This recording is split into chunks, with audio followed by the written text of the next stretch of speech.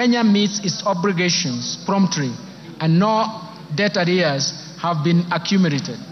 Public debt is projected to remain within sustainable levels on account of fiscal consolidation path that reflects the decline in the ratio of debt to GDP in, in present value terms over the medium term.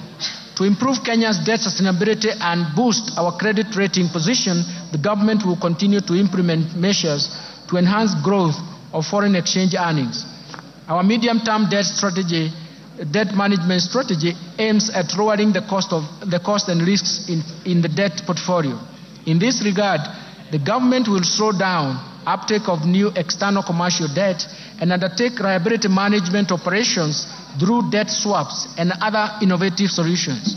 The government will also diversify sources of financing through issuance of Panda, Panda bond, Samurai bond, and Sukuk in, financial mar- in, in diverse financial markets in China, Japan, and the Gulf regions, respectively.